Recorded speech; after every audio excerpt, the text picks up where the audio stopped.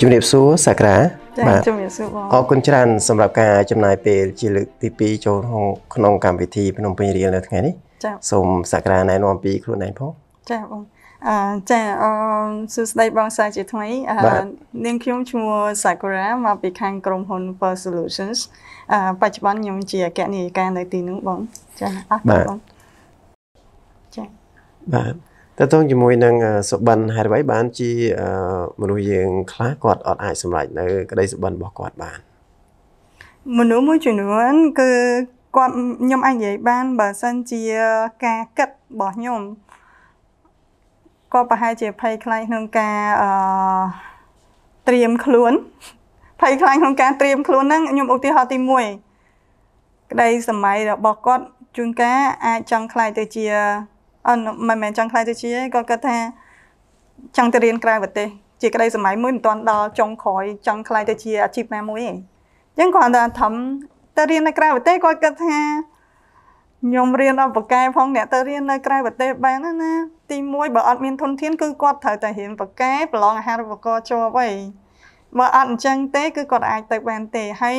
ឬគេនិយាយទៀតបើសិនប្រឡងអាហារូបករណ៍គេត្រូវការកណិតវិទ្យាគេត្រូវការលើសពីភាសាត្រូវការកណិតវិទ្យារូបគីមីអីដែលជាវិទ្យាសាស្ត្រពិត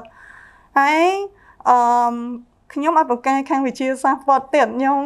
ជាមនុស្សបកកែខាងតាអក្សរសាស្ត្រអញ្ចឹងគាត់ច្បាស់ជាបោះបោះចោលគាត់អឺគាត់ give up ហ្មងគាត់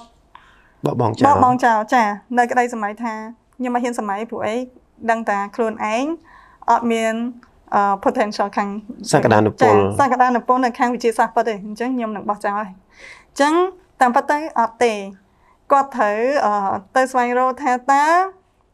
គាត់ពូកែខាងផ្នែកហ្នឹងណាមុខវិជ្ជាដែលគាត់គួររៀនហ្នឹងគឺអ្វីហើយអនាគតអាចធ្វើអ្វីបានដោយក្តីសម័យគាត់អត់អញ្ចឹងមិនប្រកាសថាមនុស្សបកែទាំងអស់បានទទួលយកអាហារូបករណ៍មនុស្សអត់បកែទាំងអស់អត់ទទួលបានទេ គឺបបពិសោធន៍កន្លងមកមានមនុស្សមួយចំនួនដែលក៏អពុកែប៉ុន្តែក៏មានឱកាសព្រោះអីដែលសារគាត់មានក្តីសម័យគាត់នឹងខំប្រឹងប្រែងដើម្បីក្តីសម័យហ្នឹងមិនមែនបានន័យថាខំប្រឹងប្រែងតែរៀនទេ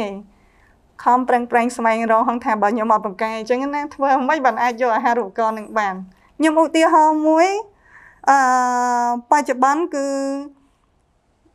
បងប្អូនដែលគាត់ជាសិស្សសិស្សសិស្សដែល ចិត្តប្រឡងអាហារចិត្តប្រឡងចេញថ្នាក់បាក់ឌុបគាត់នឹងទៅរៀននៅ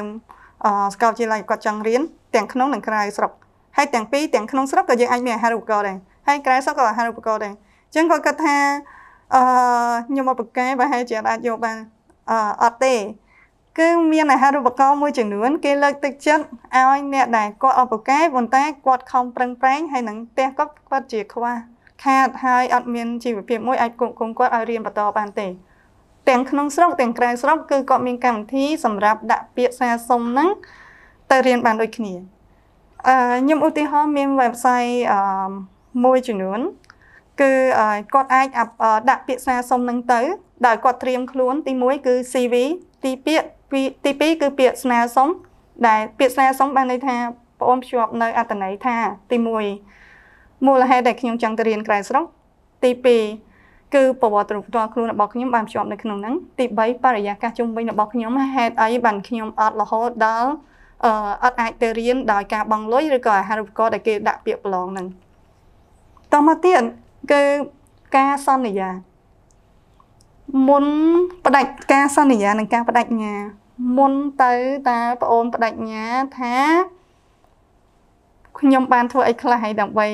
សម្រេចនៅគោលបំណងហ្នឹងទី2 អំឡុងពេលខ្ញុំទៅរៀនហ្នឹងណាខ្ញុំបដិញ្ញាថាខ្ញុំនឹងខំប្រឹងប្រែងរៀនសូត្រអត់តមកទៀតគឺចុងក្រោយហ្នឹងណាគឺសន្យាថាបន្ទាប់ពីការរៀនសូត្រហ្នឹងបងអូននឹងមកធ្វើអ្វីដែលដូចក្តីសម័យហើយនឹងជួយប្រទេសទាំងពីរហ្នឹងឲ្យមានទំនាក់ទំនងគ្នាកាន់បានកាន់តែល្អអត់នេះគឺជាអ្វីដែលគេចង់ឃើញនៅក្នុងពាក្យស្នើសុំទាំងអស់ហ្នឹងគឺប្អូនទៅសេឲ្យអស់ចេញមក ហើយនឹងជាប់មួយប្រវត្តិរូបហើយនឹងសញ្ញាបត្រដែលបងអូនទទួលបានពីបាក់ដប់ហើយនឹងការប្រឹងប្រែងរបស់បងអូនមានអ្វីខ្លះស្នាដៃគឺបងអូនភ្ជាប់គ្នាទាំងអស់ហ្នឹងត្រៀមខ្លួនឲ្យហើយក្នុងការដាក់ពាក្យទៅតាមស្នើសុំទៅតាមប្រទេសទាំងអស់ហ្នឹងដែលយើងមានអញ្ចឹងបងអូនត្រូវខំប្រឹងប្រែងរកនៅព័ត៌មានទាំងអស់ហ្នឹងហើយអឺគ្រាន់តែជាបទពិសោធន៍របស់ខ្ញុំគឺគេទទួលទាំងអស់មិនថាតាមរយៈការប្រឡងអឺ រាល់ឆ្នាំដែលក្រសួងគាត់បានប្រកាសហ្នឹងគឺការប្រឡងទៅតាមអាហារូបករណ៍ដែលមិនប្រឡងទៅក៏មានដូចគ្នា គឺតាមរយៈតាមរយៈការដាក់ពាក្យស្នើសុំដូចខ្ញុំបាននិយាយមិញអញ្ចឹងអាហ្នឹងហើយគឺជាឧបសគ្គដែលក្មេងមួយចំនួនបើសិនជាគាត់អត់បានចូលរំដាប់ទី